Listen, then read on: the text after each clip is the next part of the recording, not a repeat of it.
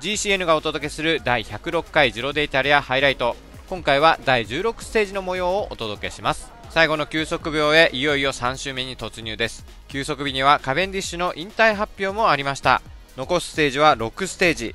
そのうち今日の第16ステージを含む4つのステージが山頂フィニッシュとなっています。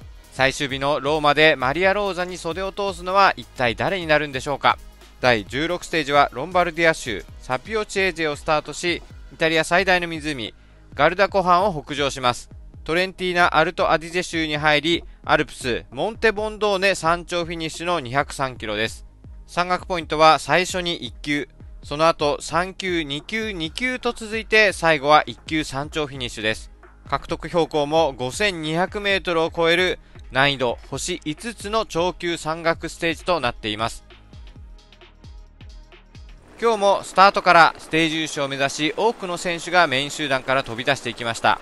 10人を超える先頭グループの中にはポイント賞ジャージマリア・チクラミーノを着るミランの姿もあります。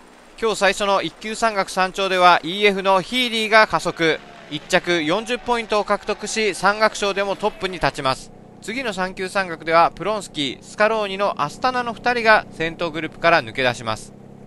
一方メイン集団はログリッチをするユンボ・ビスマがコントロール。先頭グループには4分30秒遅れ総合13位のオルレアン・パレパントルが含まれています。そのオルレアン・パレパントルを引っ張るのは弟のバランタン。先行していたアスタナの2人を吸収します。一時は26人の先頭グループでしたがレースが進むにつれ人数が減ってきました。そしていよいよ最後の1級山岳の途半に入ってきます。メイン集団は先頭グループとのタイム差を3分に縮めてきました。先頭グループも人数が絞られています。イタリアチャンピオンのザナ、バーレーンのヘイグ、アージェ・ドゥゼル・オルレアン・パレパントル、ボーラ・コンラット、モビスター・ベローナ、アスタナ・プロンスキーの6人です。残り15キロでメイン集団とのタイム差2分を切りました。メイン集団、ユンボ・ビスマのデニスが牽引を得ると、続いて出てきたのは UAE のホルモロ。これでペースが上がり厳しくなったのはマリア・ローザのアルミライル。続いて総合11位のピノー。さらに総合12位の EF のカーシーも遅れていきます。UAE チームエミレーツはこの後バインが引っ張り逃げグループを吸収。メイングループが先頭グループになります。バインが牽引を終えると UAE チームエミレーツのエースヤングライダージャージを着る総合4位アルメイダが前に出ます。残り6キロ地点先頭は5名。ユンボ・ビスマログリッチだけがアシストを残しています。そしてアルメイダがここでアタック。残り8キロでアシストを使い果たしているんですが本人の調子の良さが伺えます。そして残り4.5キロ地点で先行していたアルメイダにトーマスが追いつきます。ログリッチはこのトーマスの動きについていけずログリッチは本来のコンディションではないようです。ログリッチが遅れる中総合2位のトーマス総合4位のアルメイダがペースを上げます。ログリッチはアシストのクスがいたことでなんとか踏ん張ります。総合8位ジェイコのダンバーもここにはついています。先頭2人が残り 600m を通過。ログリッチは30秒ほど後方。フィニッシュでは上位3名に10秒6秒4秒のボーナスタイムもつきます。総合争いにはそのボーナスタイムも重要な要素。先頭2人が間もなくフィニッシュ。アルメイダが前に出る。トーマスはついていくのが精一杯。第16ステージを制したのはアルメイダ。そして2位にトーマス。ステージ3位4秒のボーナスタイムが残っています。ステージ3位は25秒遅れでログリッチが入りました。ステージを制したアルメイダは総合でもログリッチを上回りました。